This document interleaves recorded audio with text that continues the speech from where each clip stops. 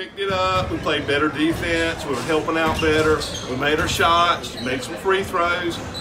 Mostly defensive effort, Chris. They were playing better defense.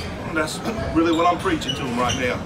Play better defense. Lit out. They made it tough, but I'm glad it was a good win for us. And hopefully give us some momentum going into the game Monday and the rest of the conference. Okay?